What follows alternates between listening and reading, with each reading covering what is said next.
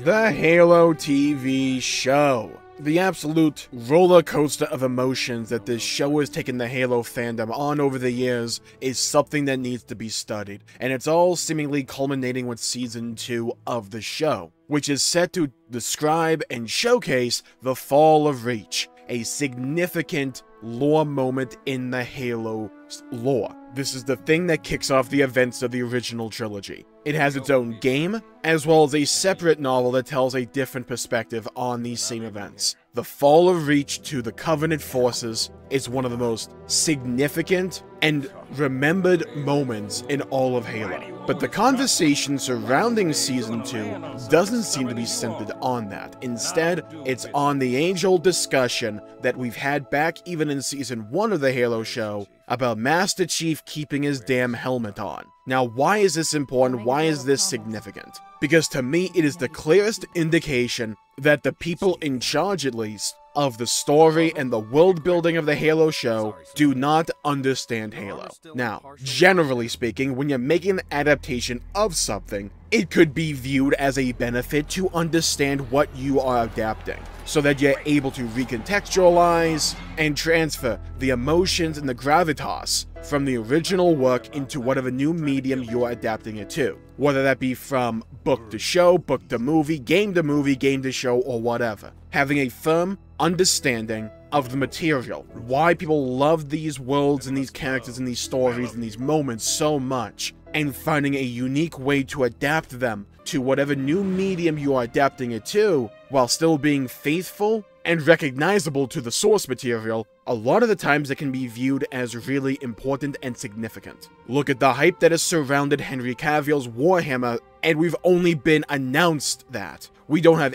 anything else about that, but we know Henry Cavill loves Warhammer and understands that universe, so there's a rock solid foundation, a base if you will, of trust and support for that because chances are they are at least showing that they are trying to be faithful to Warhammer. But the same can't be said for Halo. Now, the action scenes, those were really cool from at least episode 1 of Halo Season 1. And the trailers for Season 2 at least look decent. But why is everyone getting hung up? Why are everyone getting hung up on Master Chief not having this helmet, because it's an intrinsic central aspect of the character of Master Chief. And the logic that is being used, well, quote unquote logic being used to defend the idea of Chief not having his helmet, to me, in my opinion, shows a lack of foundational understanding of Halo. Now, why is that? Master Chief was always a self-insert protagonist, otherwise known as a character in a book or a show or a movie or a game,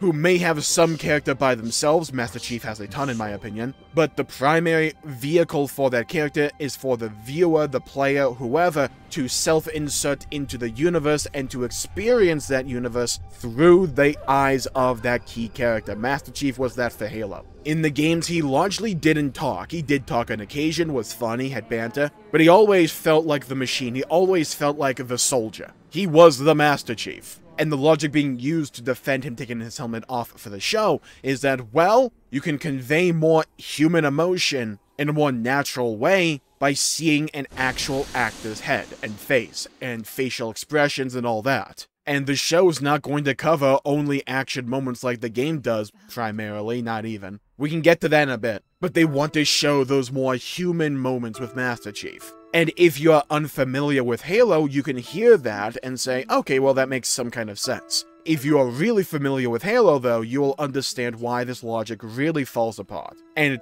down to a very simple reason a misunderstanding of the character of Master Chief, and also pretending that human emotion can only be expressed through facial animation or expression. A lot of what made Chief so emotional and resonant and understandable and relatable was the fact that we never saw his face. We became emotional for the story of Halo because we experienced the emotions that Chief was largely feeling to some degree at that moment, because again, self-insert here. But also, we often were able to get a very vivid understanding of how Chief is feeling. Because body language is also of paramount importance when it comes to conveying emotion. Think back to like those Broadway shows or those ancient Greek theater shows, where chances are you're sitting rather far away from the actors, so you don't have access to seeing all those intricate, minute facial expressional changes and differences. But at a distance,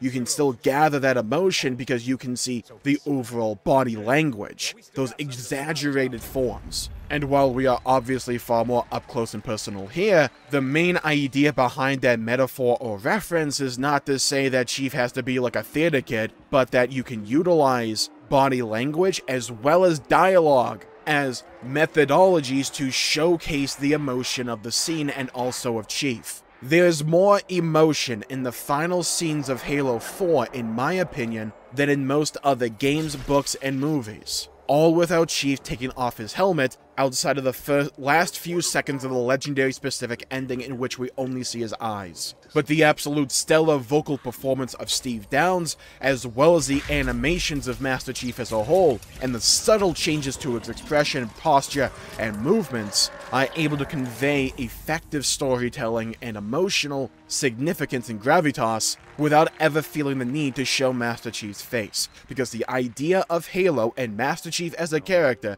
in the words of Actman, or at least paraphrasing here, is that we got to understand and know the character of Master Chief before we understood and grew to love John. What does that mean? Throughout the original Halo trilogy, Halo 1, 2, and 3, we learned about the Master Chief, the last beacon of hope for mankind in a world that seemingly doesn't want humanity to exist any longer, where the Flood and the Covenant forces rage an endless, gruesome battle against all. Master Chief stands there as the lone beacon of hope in that cold, endless darkness of space. And the reason the original trilogy has a story so beloved is because Master Chief is surrounded by a bunch of great characters. Sergeant Johnson, Cortana, Shipmaster, Gravemind, Tartarus, the Brutes, the Grunts, the Marines, Sergeant Johnson, I think I already said him though, Lasky in Halo 4, and 343 Guilty Spark. Master Chief is surrounded by a cast of characters that is so well developed, fleshed out, and characterized that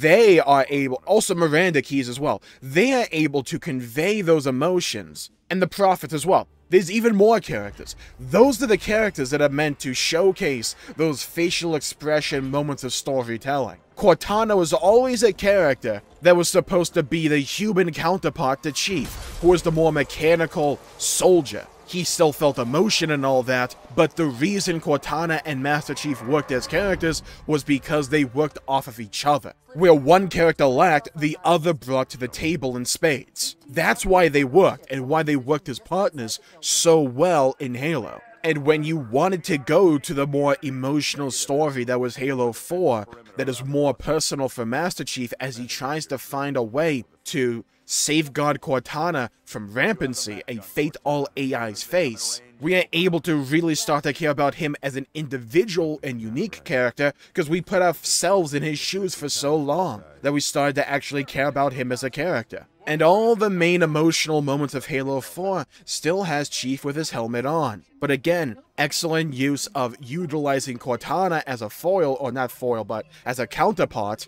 but also the dialogue and the voice acting and the overall body movements of Chief, working in synergy with one another to convey and elevate the scene. I hold the ending of Halo 4 in extremely high regard. It is one of the most well-crafted endings to a game outside of the final fight with the Didact that I've ever seen, all without the need of taking Chief's helmet off. Because when you try and argue that you have to take Chief's helmet off to showcase human emotion in a story that is Halo, that doesn't at least sound or feel like a necessity, it feels like an excuse. An excuse or crutch that you are incapable of utilizing the emotional storytelling techniques that Halo was known for, either in a direct or indirect way, yet incapable of understanding those methodologies of conveying human emotion and story. And you are forced to resign yourself to have to utilize facial expression as a crutch or a bolster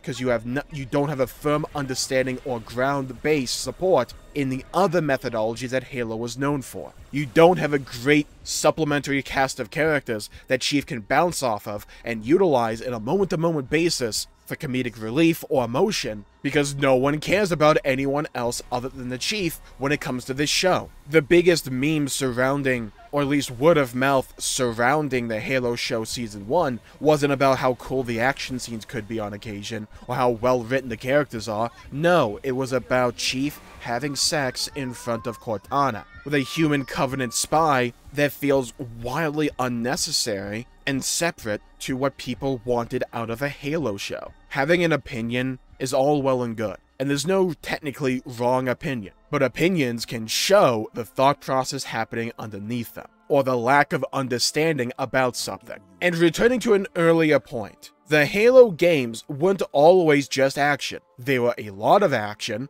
but they weren't just action. The entire Arbiter story of Halo 2, which we clearly haven't gotten yet to in the show, but also think of Noble Team. How cool of a show would it have been if we had seen Halo Reach and Noble Team be translated to a show? We didn't get all that much development in Halo Reach, what if we slowed that down a little bit and expanded on those characters just a little bit? That would be really cool. The reason that Halo 4 was able to show Master Chief's face, which was still polarizing when it happened, by the way, was because we had so many other games and books up to that point where the books you never technically saw Chief's face, because you read about it, you theorized what it looked like. But after all these books and little animations and games, it all culminates in us only seeing the eyes of Master Chief in a story all about Master Chief learning the difference between the man and the machine. Who is more human, he or Cortana? Who is more machine, him or her? And once he finally starts to understand what Cortana was always trying to tell him, then we see the eyes of Master Chief to signify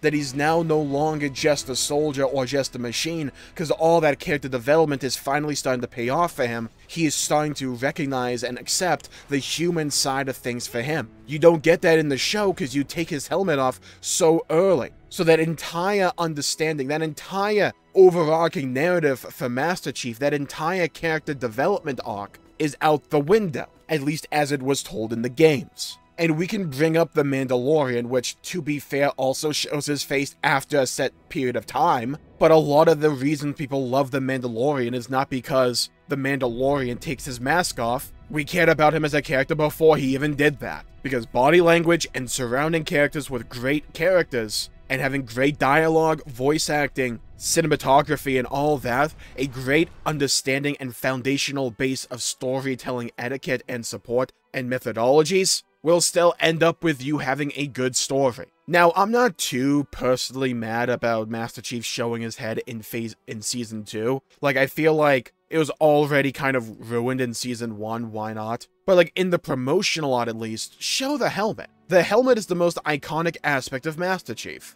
It just feels like this really weird reliance and allegiance to an idea that is not rooted in any kind of background or understanding of Halo. And when you're trying to tell a Halo story, and if you're trying to regain some lost fan support, at least showing an honest to God attempt and effort to understand the source material could go a long way. I hope season 2 is good, I'm not gonna root for it to be bad or anything. But when you show me the uh, or the viewer more and more reasons to believe that you still don't understand the source material, that will color so many perceptions about what you eventually put out. Whether that's right or wrong, that is the reality of how things happen. I'm gonna hope for the best, but if it turns out to be another stinker, I can't say I would be that surprised. And with that, I think I'll call the video there for the day. Thank you all for tuning in. My pleasure for making the video. If you enjoyed it, please leave a like and subscribe. It really helps the channel out and helps support future content, and I greatly appreciate it. Stay, stay safe. I'm getting the hiccups now, so I'm going to really call it there. Stay safe, have a great day, and hit the bell icon to be notified when I upload and stream in the future. Stay safe, have a great day, and I'll see you all next time. Bye-bye, everybody, until we meet again.